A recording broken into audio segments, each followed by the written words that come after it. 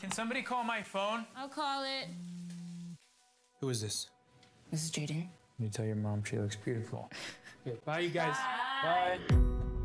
I just want to make sure that we have everything exactly right. Let's get started.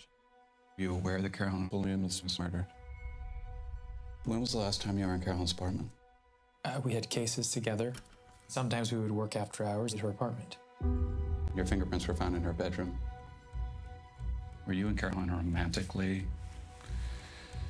involved?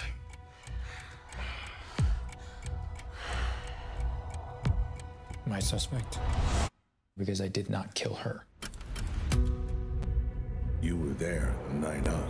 You better get yourself an attorney. If you're arrested, There's not an if. I will be arrested. They're gonna see that I was obsessed with her. I was basically stalking her. You know the night she was killed, he texted her 30 times. 30 times. This is the darkest hour of my life. But you and I will fight to save your family.